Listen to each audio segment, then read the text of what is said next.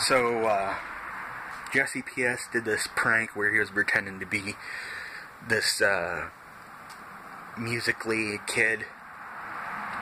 And, uh, he got all these little girls calling him and shit like that. And he decided to make a jab at me. Um, like saying, oh no, this is how you get little girls to call you and blah blah blah.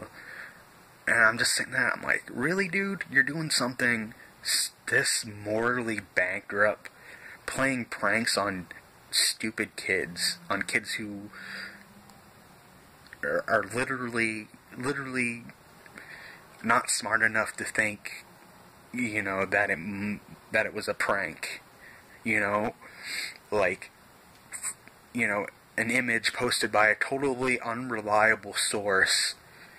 You know, and they didn't take, they didn't stop and think you know, you're you you, you exploited children for your show, but you're gonna turn that around, try to turn that and use that against me.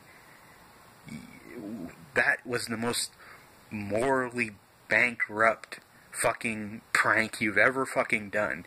And you're trying to minimize what you fucking did by putting in a little fucking jab against me.